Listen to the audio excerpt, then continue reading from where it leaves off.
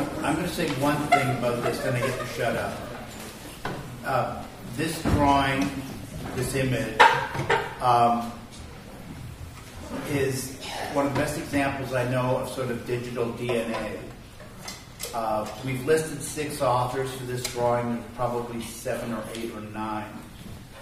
It began last September uh, over the Labor Day weekend um, with Nicole Ratajczak, who made the first of these renderings of this work. Material was added, changed, moved around, enlarged, reorganized. Her DNA remains inside it. Uh, added to this, Anna Longrig, Siobhan Allman reworked the doors several times. I reworked them again. Then they became constructed by Alexander Vilku. Tower is reworked from one that I started a long time ago on the back of, Siobhan, of uh, Nicole's and Michael Nugent's, and uh, the wall of material behind it is, in fact, a, a whole range of authors. So, in fact, uh, virtually everybody on the team has their hand in this one drawing, which is why somehow over and over again I find myself making it the emblem because it has got everybody's thumbprint in it somewhere. I can pick them all out. And that may be the last thing that I want to have to say about this.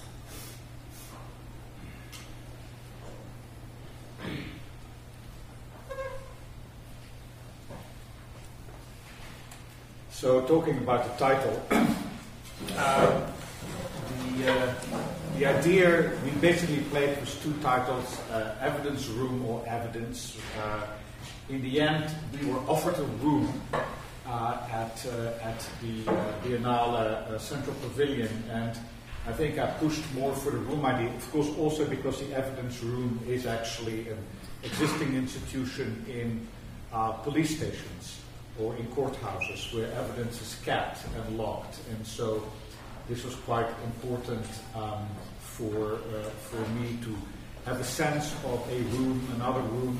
Then, of course, we have a courtroom where the evidence was presented. So these rooms all are talking to each other. Um, yes, uh, and, and, maybe at this moment I just we have the crew here, but of course there are many people who are not here. um, we have had incredible support out of the community. Uh, right now, the budget of this thing is close to $500,000, and we've been able to raise that money and more uh, over a uh, five months period. So, uh, and this is all volunteers who stepped forward. And uh, so I must say that I was given the job to raise the funds early on, and I thought this was completely impossible. And it's only because of friends and allies that we've been able to reach this point. It's a very expensive operation to get this whole exhibition out to Venice and back.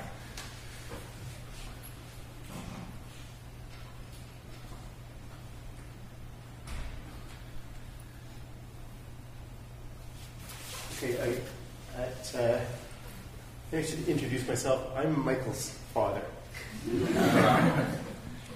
And it's it, it, it's a weird thing for me to be in a school where you know the last time we worked together might have been high school or grade eight doing a science fair project. Uh, Michael came to me in I'm going to say November after talking to uh, Robert Jan and Donald and told me a little bit about the project uh, with a lot of enthusiasm and uh, optimism. Uh, and then I, I met Donald uh, with RJ. It was the first time I met RJ. Uh, was in, in Hamilton, but I had met Donald several times. Uh, this was an opportunity to to give back.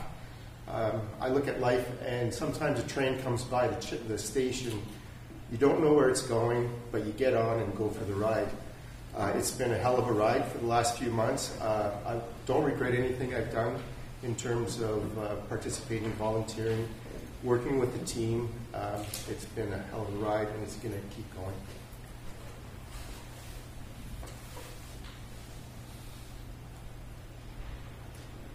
Yeah, so this is early at the beginning. I just will say that, you know, there's a hell of a lot of information that needs to be conveyed about what we were going to try to do. a complex construction history of a death camp. And so we started out with the back, you have actually the original design uh, drawn by Donald, uh, and in the front we have then the designs created by the SS architects. And of course, we are constantly oscillating between these two um, drawn realities. And this is, I think, one of the very first days. The room's still very clean.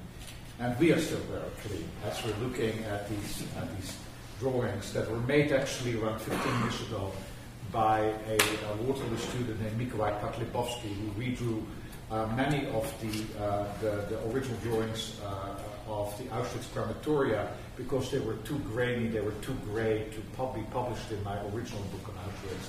So we, uh, I asked him over a term to redo these things, and uh, so we also use some of these for this project.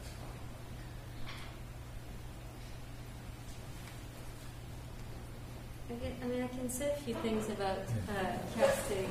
You see Anna, Anna and Anna uh, casting of the first experiments, and like one of the reasons why um, I was invited to the team was uh, because Donald and Robert Jan knew that I was interested in casting, both historically and theoretically.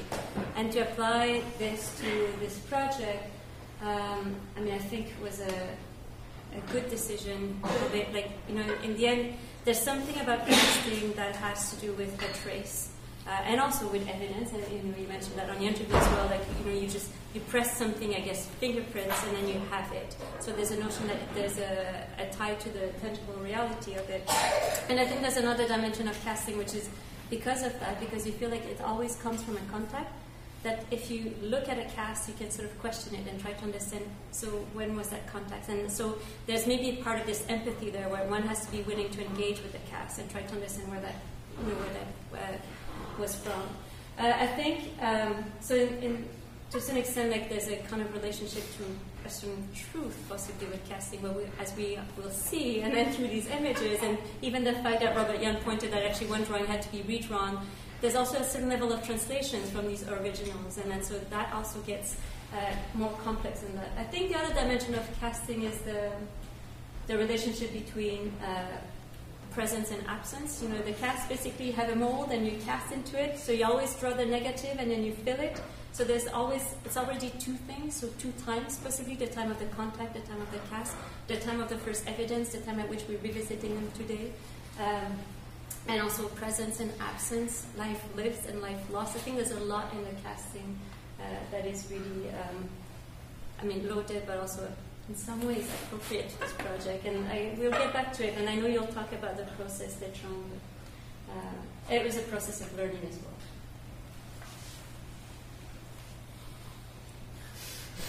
That's it looks a little intense. Uh, this is a picture of the first door that was uh, constructed slightly oversized, and what I'm doing in this in this image is actually dimensioning the door. I've got a, you can see there's a square on the, the lower left or the lower left side of the photo, but getting the door ready to dimension to size um, based on the dimension that you'll see later in the presentation of 205 and 100.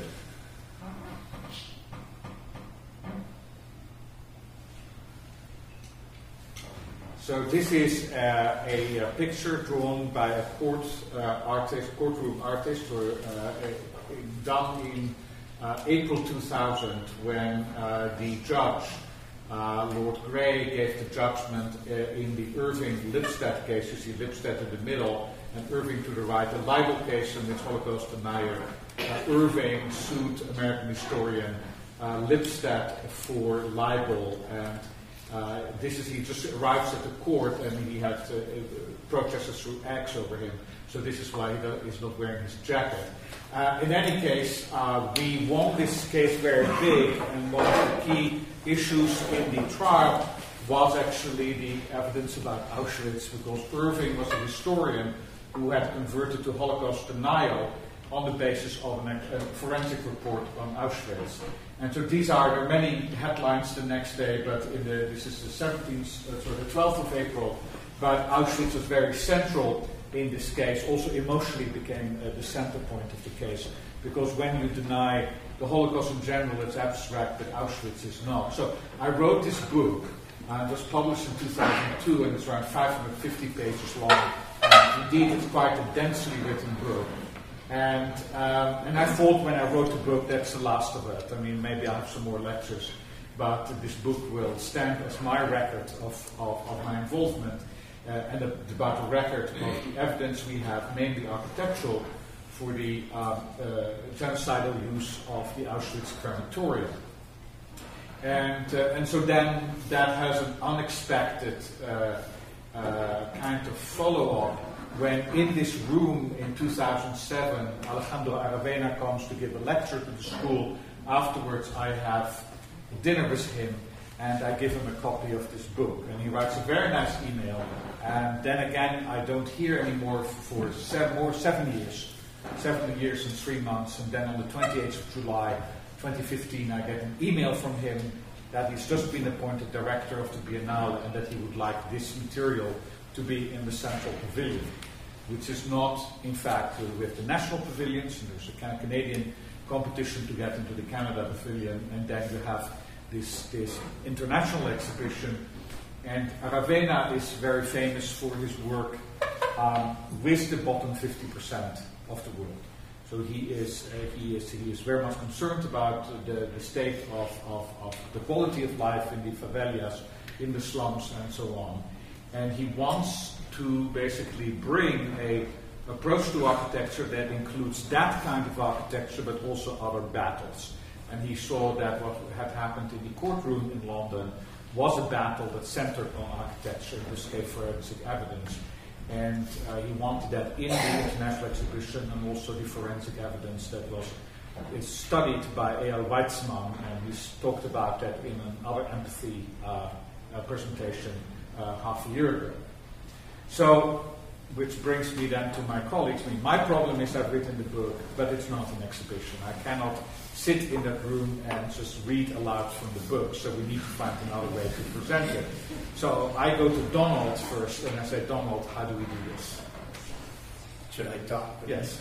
Well, um, in, in every successful museum or, or in fact, exposition, um, the, the sense is there are several layers. There's the doorway, which lets you know whether you're interested or not and there's the three minute circuit, and then there's the capacity to maybe say, this is interesting, I'm going to stick with some of this a lot longer, or a lot longer again, or a lot longer again. Uh, Robert's 550 pages uh, are the tail end of a lot longer again. After that, you don't have to do anymore, I think. Um, what happens in the next position is people we'll pass through this room, and it's a room enfilade. We'll show you the plan. It's a very funny and stylized plan. But everyone will pass through this room. And the question is, will they pass through it? Will they pass through it and slow down? Will they pass through it and stop? Will they pass through it and make a circuit? Every one of those is going to be, in some sense, a different experience. But the first experience we have to have, in some sense, it is in the first very few moments of just sitting there, walking into this room and going, something else is happening here. And it's probably uh, something I might look at, and it's definitely not something jolly. Um, and those become our opening questions. Uh, and the exhibition is effectively a translation of the book, but it's a translation of the book in space and in surface and in colors and things. And it changes completely. Of course, there's the other question, which is um, how in the world do you work on this stuff for months without it messing you up? Because uh, honestly, it kind of can when you actually have to work your way through design. And I think a lot of what's going on after this is people doing very honest work about really awful things like to concentrate on them, to focus on them, to work them out, to have to get inside the minds, on one hand, of often the slave laborers who make these things uh, under really appalling circumstances. They're not paid, they're not fed, they're, they're, they make these things. Um, and these things are designed by Nazi asshats, the worst creeps in the world, to murder other people. And at the same time, you have to make them into an exhibition that people can see and understand in a few moments. That is to say, we can't make a horror show. We have to actually figure out how to tell that story. And everyone, I think, in this team has worked on that problem for months and months now. And it is inevitably a very difficult problem.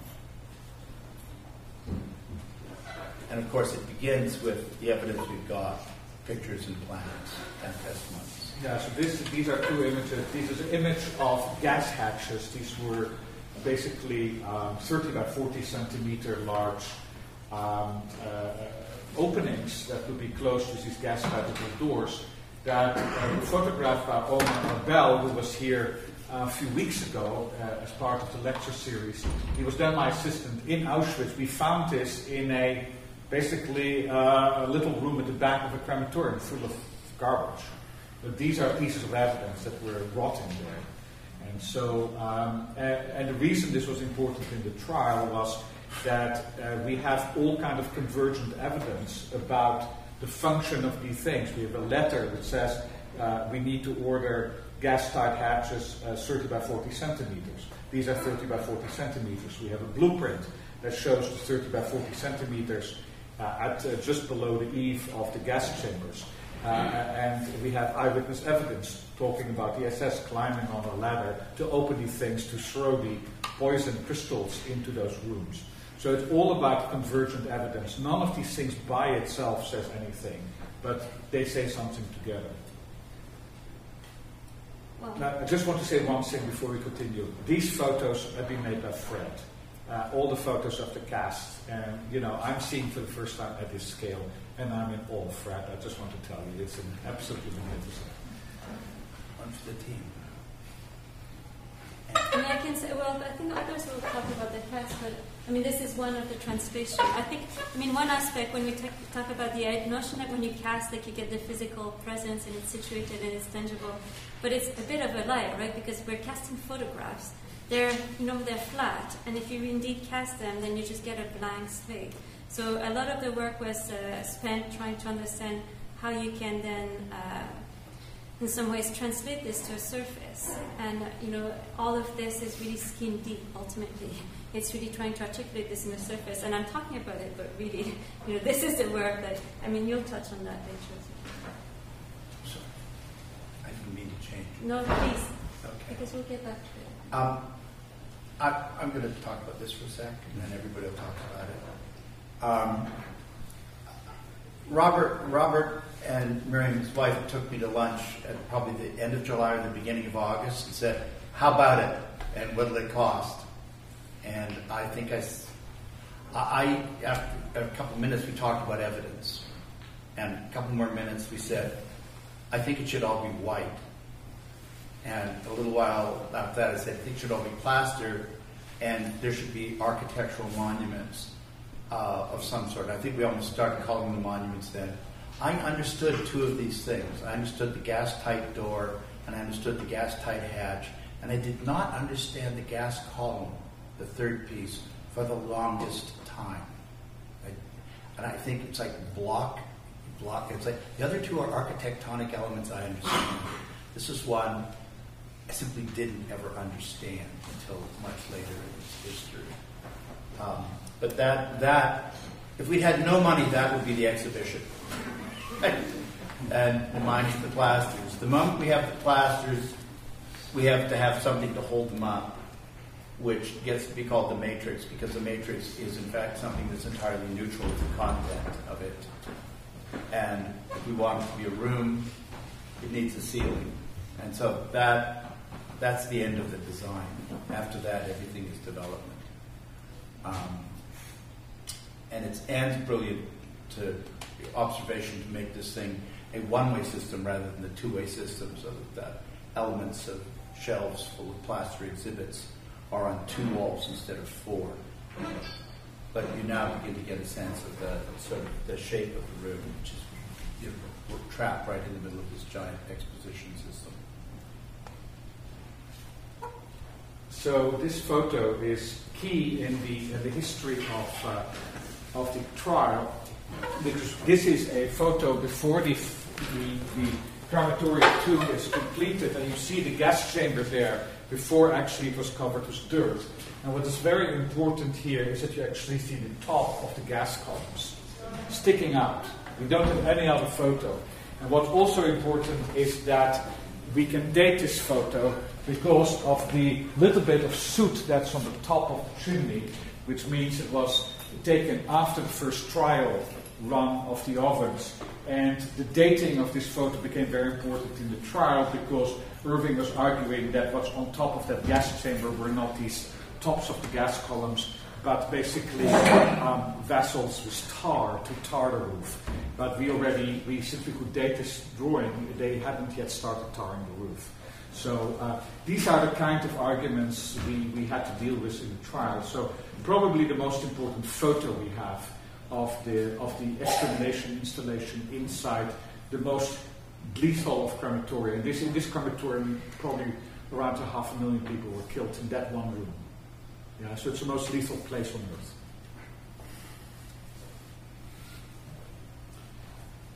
Well, these are just moments of. Uh, so the large photograph is then part of the exhibit, so it's something that's put on the shelf. But then also to try to draw attention to something which is such a small piece of it, then we try to zoom into this to this moment, and it gets blown up, and you just, you know, even the, the different tests, in the end, we pick more this approach because we could start to even pick out if you know where to look, you can see the top of these columns uh, as they emerge out from the roof before that was put on. But these are some of the tests that you know, took us a month to do, where Robin was thinking, are these final yet? Yeah, yeah. Uh, but, no. Patience has never been one of my virtues. Uh, one of the big problems also is that the, the, the, chimney disappeared from one of the casts, and all the smoke, of course, coming from the locomotives chimney, which of course in some ways kind of interesting, but the smoke which is there is not the smoke from the from the crematorium. But um, I think this was probably one of the most difficult things to, to cast and to get it right. This is Siobhan's Yes. story. Um, hello, I'm Siobhan, if you don't know me. Um, so, for the past two months, uh, I've been primarily working on um, the molds for the casts. Um, so, we've been casting photos, uh, plans, and sketches, and I thought it'd be kind of cool if um, I ran you through how we process um, these photos. So, um, Don, do you want, I guess the image that was just there was um, like a scan of a. Should I go back? Yes. No, no, it's. I mean, it's Yeah. Um, I go back. uh, it's a scan of um, of um, the original photos of the architects of Auschwitz. Um, so we spent the first month um, testing um, how we turn this 2D object into like a 3D uh, like tactile cast. So we exper- experimented with um, a lot of things. Uh, we were considering milling at one point, so we were using Grasshopper um, and the image sampler to make a 3D model that we can mill in the CNC. Um, and then in the end, we decided to use the laser cutter and uh, raster engrave um, just because there's so much detail in these photos and it offered um, an opportunity to capture that. Um, so from there, previously we saw there was a lot of experiments with the raster cutting. Um, okay, so next image. So bring that image and um, put this into Photoshop, and then you have about an hour to two hours um, making the photo um, kind of into good shape. Um, so after you kind of play with the adjustment layers, you posterize it, um, which makes it, uh, because it's black and white, into kind of four layers. So there's a black, a white, and then um, two grays, like a lighter, lighter gray and a darker gray. Um, and then you export this. So this is this was exported at 600 dpi, um, and the size of the cast is uh, 590 by 900 mil. Um, okay, next image. So then um, you bring this into AutoCAD, um, the image, um, to raster.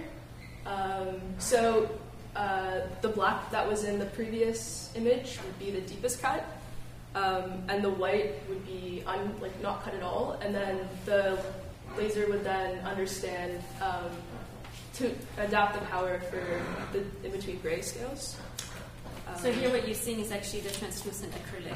yeah, so this is cut onto uh, quarter inch acrylic.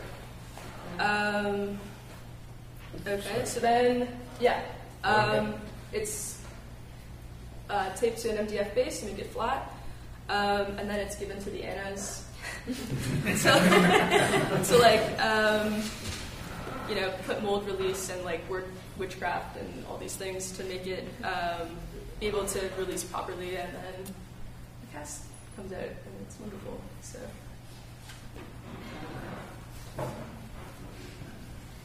I mean, the work that Siobhan's just been describing from photograph is actually, then it's slightly different from drawings. And this is a drawing, I mean, luckily, this is a drawing that had been redrawn, so we could go from hard lines, which made it easier to then uh, translate into a file that could be easily cut.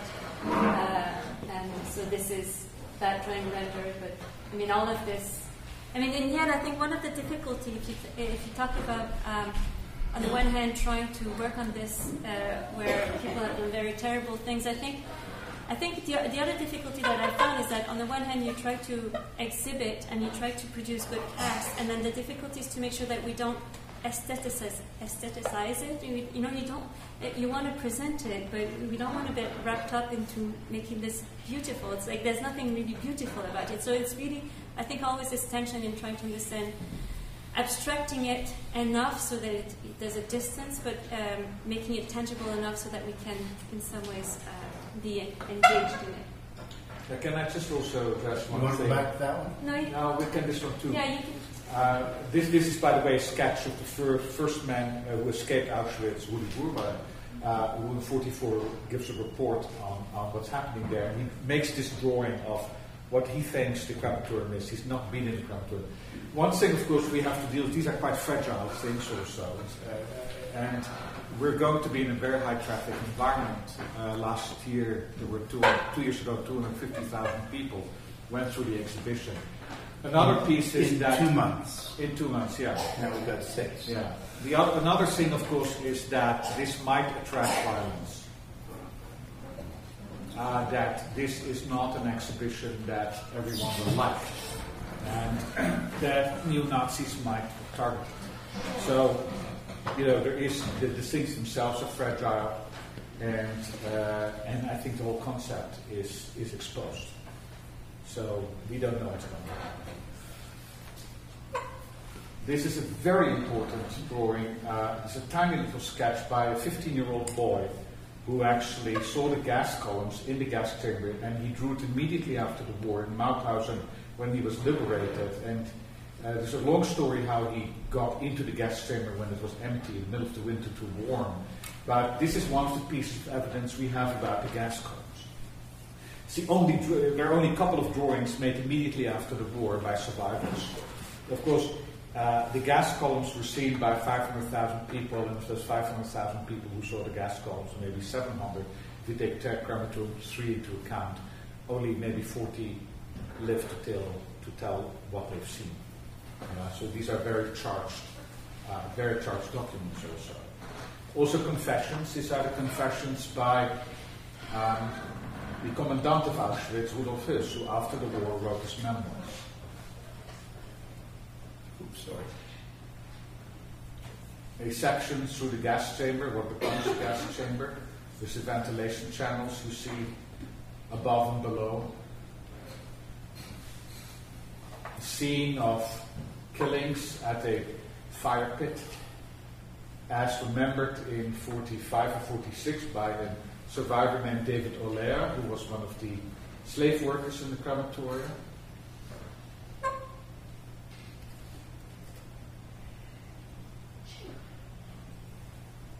Another drawing by Olère.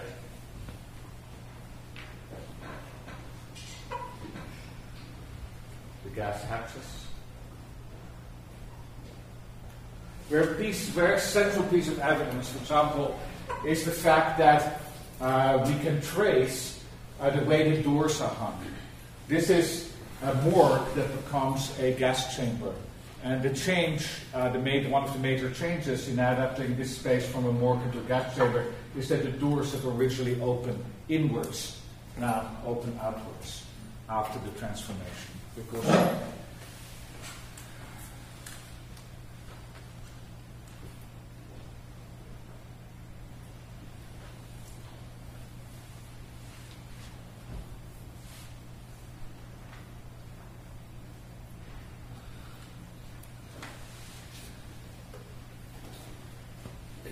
Just to warn the Annas, that the video didn't make it. It's, the video is better than all of these, but Want to talk about this then, Anna? Uh, yeah, sure. So for um, for most of the cast that you're seeing uh, photographed and eventually these, um, Anna Longing and I have been working on them. So the the process for that. So if when Siobhan kind of hands off a mold to us, we still have to uh, do a couple of stages of preparation to make sure that it's sealed enough that the plaster doesn't stick to it. To make sure that we actually put mold release again, so um, releases and. Um, it becomes a process of actually getting to know the material and the limits of the material, and to know it enough that if um, something different happens on one day, that you can actually deal with it. Uh, and it becomes quite a rushed process, which I think these photos reflect, which is that it's not so much about the content in that short time frame when you're casting, um, but it's about just um, being aware of the of the material and working with it.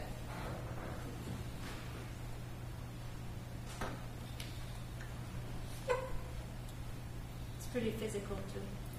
It's, yes. You can start by the Yeah, so if you hear banging around the school, it's probably us. uh, so these are some of the versions of the molds and casts that we've worked on. Yeah, we started by prototyping with actually uh, plywood, Or cardboard cardboard at the very beginning, um, which, as things go, there's been kind of a back and forth process where we thought the cardboard was going to work. When we started really prototyping it seriously, it stopped working. Um, so we had to, it was quite a drawn out process to prototype this and figure out which materials would work with which settings, like what kind of preparation of the molds before you actually cast it.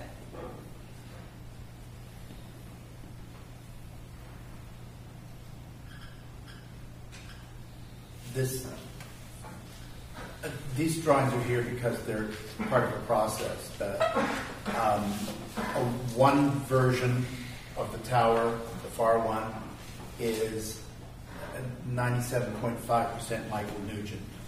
The one closer to me is sort of 97.5% Donald McKay. Michael Nugent Tower is not exactly what's built, but it's very close. Is that right? The door is.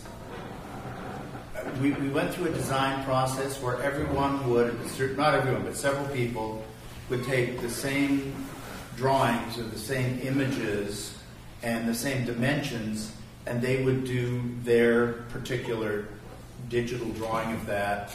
We would lay them all on top see how closely we agreed because we're interpreting a sh- shaggy material. And then finally, I would just take the chance of sitting and say, if there's a mistake to be made, it'll be me, so I would produce the final version. So this drawing of the door, for instance, is a compilation of data from several different doors uh, because there is no single intact door. There's no door with a frame. There's a door in a museum in Auschwitz, but it's not intact, and we have no idea what the frame is, and all of the hardware isn't there. We have others, some of them may be faked, we don't know. Um, so at some point, this is how we actually had to work out this stuff speculatively, and then of course we get to work it out in the shop. So this was my interpretation of how to build that. It's not what was finally built. I think, if you don't mind staying on that, Oh, um, this one? You want to go back to that? Go back to the other one for a moment. So this was Donald's first drawing. Uh, actually, I think this was your second drawing of the column. And uh, as you said, you, you kind of struggled with it. I think we all struggled with it. And the gas column was a weird object because it was the only piece in here that there was no evidence of. I mean, the only issue with the Holocaust denial was no holes, no Holocaust. The holes being the holes in the roof of the gas chambers, which the gas columns actually came out of. All of the columns are destroyed. There was no drawings, there were no evidence. The sketch that's on the next page I did about an hour ago, which was sort of my interpretation of what a fabricator, what we as fabricators really needed, which is this. And when we were building the gas column, there's an understanding that we're not working as designers, and I think that's something that Donald struggled with a lot. Is that, and I think everybody here, is that we're constantly designing, we're drawing, we're thinking about how something goes together, but you're not actually doing it. And when we were building the gas column, we weren't being designers, we were being fabricators. We're laying pieces of steel down on the floor, and we're saying, do these things fit? Does this work? Oh, I can't fit a bolt in here because this is in the way. And so everything that we did uh, grew out of the process of making it. We didn't sit back and consider something. We never looked at the aesthetics of it. We just said, this is how this needs to work. And I think everything that we've done is an interpretation of that. Uh, the gas column is probably the most uh, the most open because there is no evidence. This was a recreation. This was something that we built as fabricators the way it would have been built uh, by slave laborers, by men whose names have been taken and replaced with numbers. And this is what we came up with. And this is Bob Bentini, who is not here tonight, but who's the ghost in the machine in this game. So, uh, Bob is my best friend. When I was on my 3B work term, I'm going to say last century, I met Bob. He looked like that, but with a mustache, and we've been friends ever since. Uh, I've worked with his son Kevin, mentoring him. He's worked with Michael, mentoring him, and uh, uh, in terms of having no vested interest in the project other than friendship, um, he got on the train and, and, came for the ride. And uh, without Bob, uh, none of the metal work could have been done. I just would like to say something that uh, I, I told about the tremendous success we had in fundraising. Now, that success only came very late. Uh, so, Donald and Sascha Hastings and I, uh, Sascha Hastings is not here tonight, independent uh, art producer, we had set a date of the 15th of November as a cutoff date. If we didn't have the funds to do it, we would cancel the project. And basically, Michael and Tom and Bob came in just at that time and volunteered to make the gas call. Just said, we're going to do this. And uh, so it was, you know, we were in, in, in, in Hamilton in Bob's, uh, in Bob's factory, a stamping plant. And, you know, when somebody comes to you with that kind of gift, yeah, just they volunteered this. There was no going back, so I came home and I told Miriam, I said, you know, there's three guys in Hamilton, we call them the Hamilton Steel Boys. And, uh, they have offered to make the gas call, and Miriam said, okay, we're going to Venice now. Yeah, we have an exhibition. So, and it was that moment that turned actually the story around. And, and after that, we were resolved to go. And then finally, donors came in. So it, it was literally, you know, uh, uh, thank you. You made it happen. Now, th- this is where I get to come in with, with, with one other story, of the structure of all of this. Um, Robert came to me, and then after a week of his making suggestions, I had bought him a sandwich in the park, and we had a discussion about who's the captain, who was the pilot, and that was a good discussion. And later on, we changed that format, and it's been the most useful one since. Um, there four principles, but really everybody's involved in it. But the four principles are the people who are most likely to make the mistakes because they're the people who are making the decisions in um, circumstances where all variables aren't known, but they have to make it anyway. Um, the four principles found themselves neatly divided into upstream and downstream. And I think the upstream and downstream part of this has actually been one of the things that has kept us sane. Um, upstream, if it was a movie, you'd say they were the producers. Downstream, you'd say the directors. Um, but in this case, it's a little more complicated. Upstream are diplomats. They're fundraisers who get the other people to show up on demand for to perform if they need it. Um, they are um, Robert has been the diplomat at this end of the world. Sascha Hastings has been our diplomat in Italy, which is her forte. She's also been our editor, and we produced a book which is um, more or less in the publisher's lap at this moment, designed by Louis Charles, um, the graduate program, who's not here tonight, and who's one of those sort of dear friends of this project. But the division between upstream and downstream means that at any one time, none of us are completely crazy. So if Robert was in despair all fall, I was just drawing and didn't give a damn. It was his, money was his problem. My problem was to figure out how to do something. And um, I have to say that once he got the money, I can only quote Donald Schmidt, who said, "You know, there's that moment when you come back to the office and say, "Great, we got the job." Shit, we got the job. Now, once the money showed up, Robert was happier, and I was. Yeah, no, I, I, I just have to add one more sentence to this. That basically my mental state over the past six months was how much I was behind Donald's spending. Then I think uh, three weeks ago I pulled ahead of Donald's spending, and the night that same night the budget increased uh, thirty percent. So I was behind again. But Yeah. I had that one night. I had that one night. Yes. But uh, I'm again. Uh, once again, I'm ahead. I think. Still. You, you are you are ahead, Yeah. despite the fact that I'm extravagant. I, I'm also going to say this: upstream and downstream is there's no free labor on this, and we have. I think we will have paid everybody full wage for everything we've done. I made this speech to do the other day. When I was a young architect, I realized one day because somebody left the billing information in the photocopier, it was that long ago, um, and I realized that in an office where I wasn't getting paid overtime, in a large office, an office of about 40 people, uh, my billing was the second highest billing in the office behind the principal. And uh, I thought that can never be right. That you know, you, one gets paid for one's work in this world. Uh, so that has been Robert and Sascha, and Sascha has been instrumental in helping to raise this money. She's been brilliant. Um, but Robert and Sascha have never for a moment uh, looked at Anne or I and say, well, well, can't you get them to volunteer to do some more? Um, because that would be basically inappropriate. Um, so the upstream downstream rule has been important. What's great about Bob Bintini is that he's an upstream fine, but a downstream guy. So this is Bob, and we owe him a lot. That, that commercial over. I think those are Tom's hands in that picture. Uh, if there's nine fingers, it's Bob.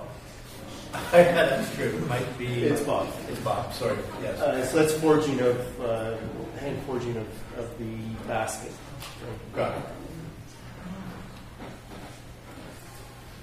Um, so I'm Alex, this is Brad, and together we worked on the woodworking for the doors and the hatch. Um, just to echo Michael's discussion about the gas column, I think the same attitude was adopted in the creation of these monuments that represent the front, the rear of a gas hatch, of a gas door, and a gas hatch. So we started off with an annotation uh, that read 100 over 205, so 100 wide, 205 tall. And then, can you go to the next one? Yeah, for sure. Uh, so that provided like a framework for the rest of the construction, but then the finer details were basically given to us by these two images. So this is the prisoner's side of the door, and this is the Nazi side of the door.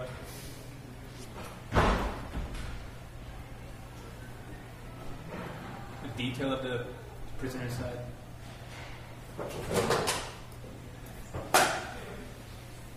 That's Brad harvesting wood. So this image is from a barn that is uh, about 21 kilometers east of Cambridge. Uh, it was the Lapsley Farm, Lot 21, Concession 8, former North Beverly Township. and it was the, the source of the material that we used, not only for the dimensional lumber, but also for the, the plank that we've used on the door. Uh, part of our aspiration in selecting a material was to try to find a material that we didn't have to do anything to and that aligned somewhat with the condition of a gas door that had been in use.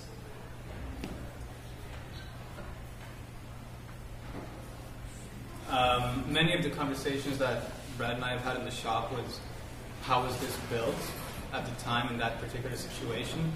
So um, this, this is a photo of an example where we've resorted to a tool that's fairly primitive. This is a, a hand forged draw knife, uh, pre Confederate.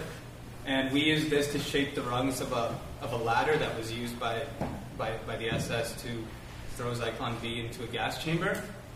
So what was interesting was that we had to put ourselves in, in the position of the carpenters at the time, which, which then brings the forensic discussion uh, back to methods and processes of building.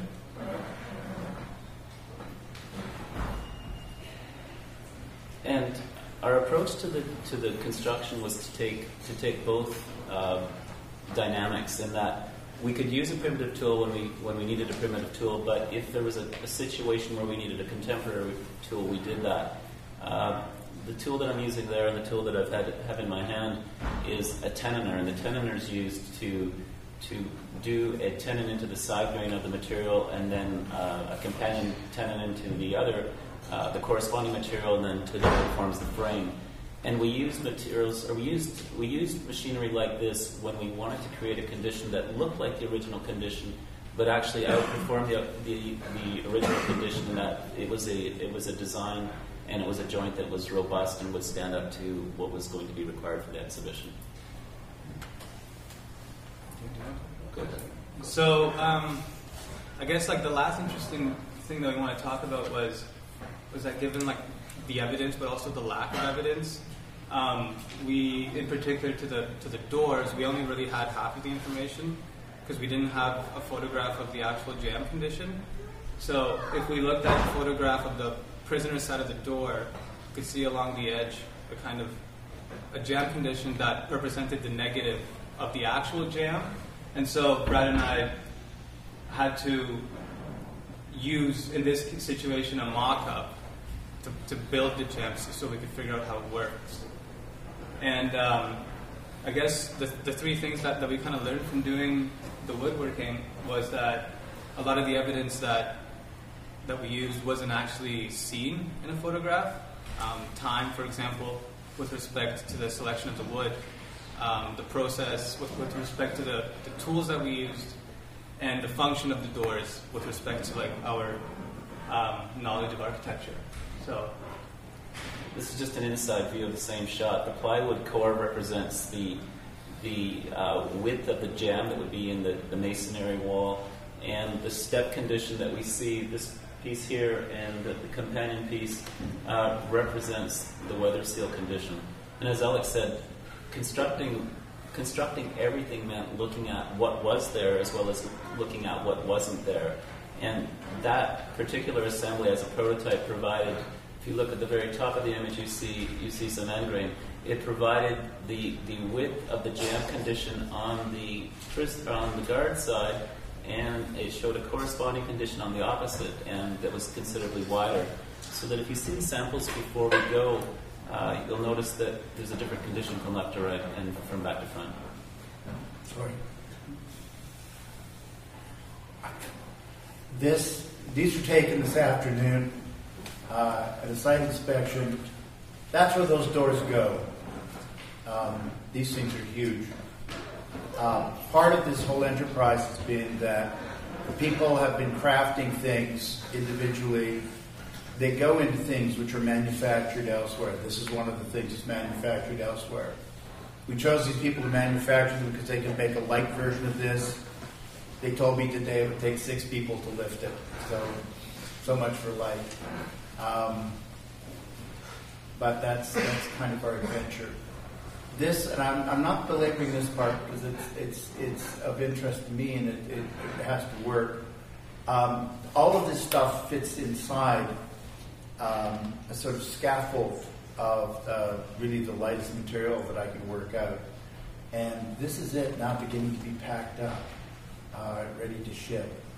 Um, and the ready to ship part is the is the great story.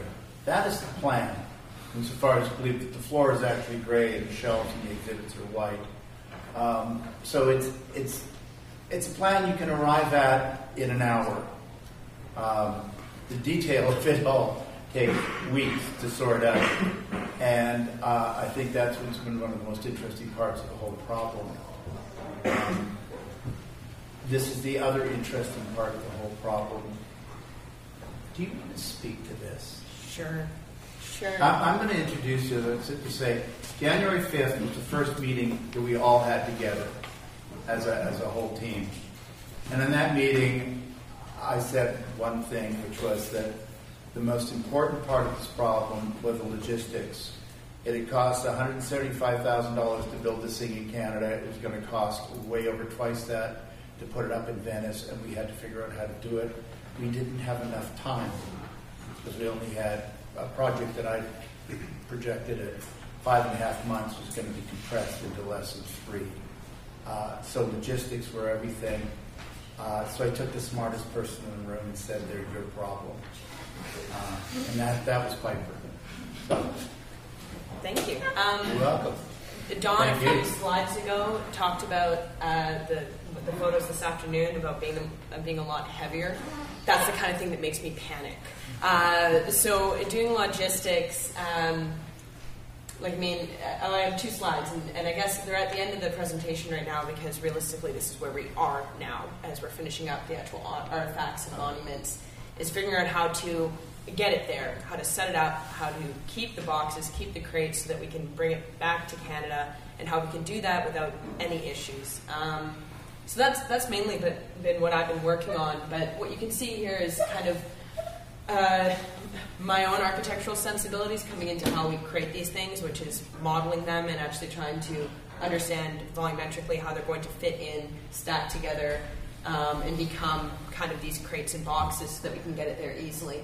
Um, so it was. This is kind of the third round or fourth round of going through these crates to make sure it's going to work. But just this afternoon, we've got a mass shipment of materials from Uline in order to actually start creating these objects, and, and that's where we are now. But one of the most important things about the project is how, in a way, the, the, the objects are so fragile and so precious um, in, in many ways, and so packing them is very important because the exhibition is itself as a whole. Uh, so we don't want to lose anything or have any broken casts.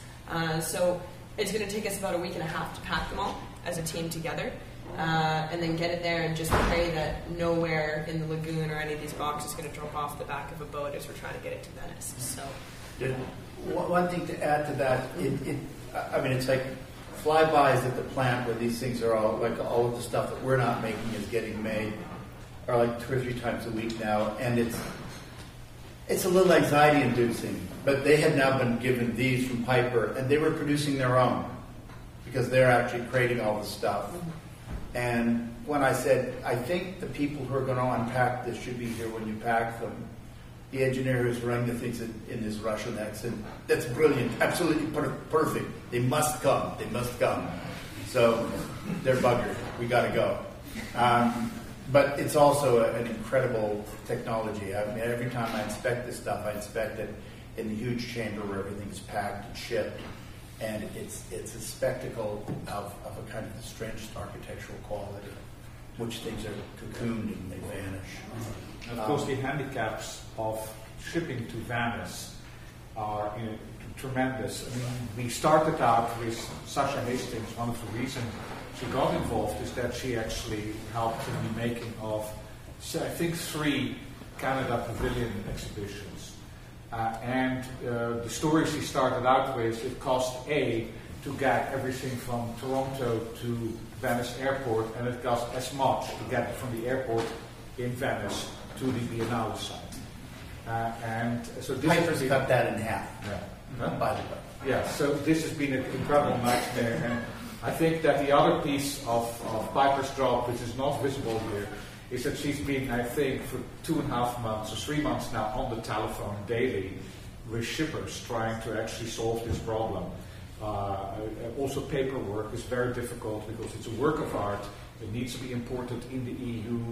We had a fallback solution that we would basically throw the whole thing in the lagoon after the um, after the uh, biennale was over. We can be imprisoned for that. I understand in Italy if we do so. Yeah, fined and So, imprisoned, yeah. uh, the amount of paperwork that negotiating with the Italians is, is, is a nightmare. But I think Piper, you know, the invisible part of your job, which is not in drawing, is actually negotiating this on a daily We just have to hope it all goes through, right? My, you know, my part of this doesn't actually show up until everything's in that room when we get to Venice and are sure that it's there. So, when, it, when it's like this.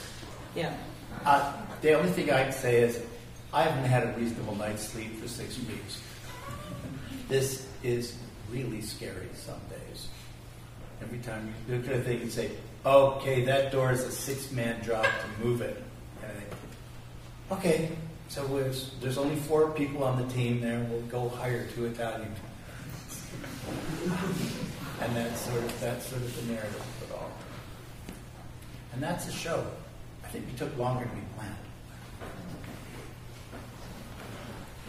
Anybody want to ask any of us any questions? I think you deserve a round of applause.